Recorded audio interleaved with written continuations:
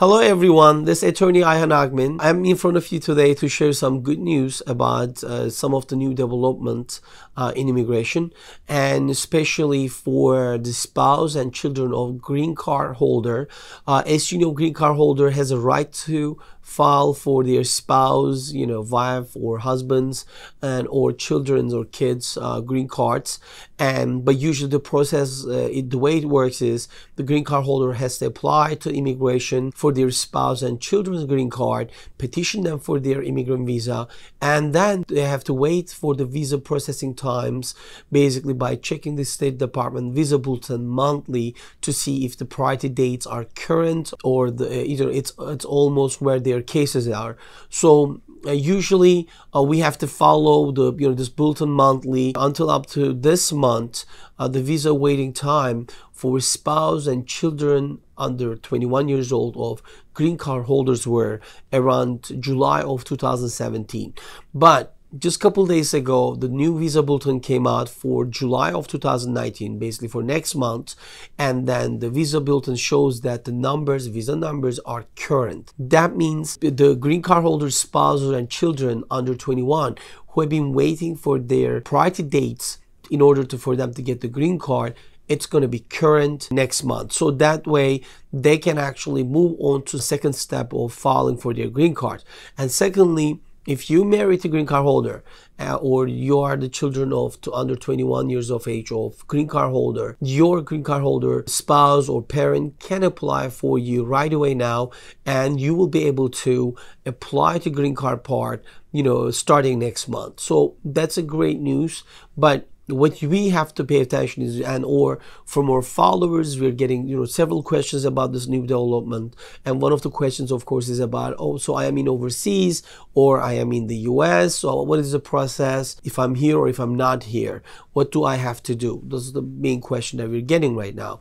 Basically what i could tell you is this. If you're in overseas that means and if your spouse or your parents apply for your green card and you're waiting for your green card processing time that means now they can move on to the second step and for you to be able to schedule for immigrant visa appointment at the US consulate in your home country. So that's the one way if you're in overseas. Of course, if you're in the US, then if your spouse or your you know parents apply for your green card and you're just waiting for your priority dates that means then you can apply for adjustment of status during next month without waiting. That way you'll be able to process your case will be able to apply for work permit and travel permit during next month. So that's actually very good uh, development. And what i could tell you is it was like four or five years ago when there was a time uh, the processing time became current for spouse and children of the green card holders. And back then there was a time waiting time was almost five years. And all of a sudden they opened the you know the bulletin and it was current and all the spouses and kids of the green card holder were able to get their green card, apply for their uh, green card all, or if they apply already, they were able to receive or do the final actions to able to receive their green card. So it's same thing uh, which is going to happen next month and the visa category for spouses and children under 21 years of age of green card holder uh, their cases are going to be current so they can able to get their green card and or immigrant visa right away another question we received from our followers so how long is this going to be open how long the visa bulletin is going to show, uh, you know, green card holders, spouses, and children's cases are going to be current. So that's hard to say.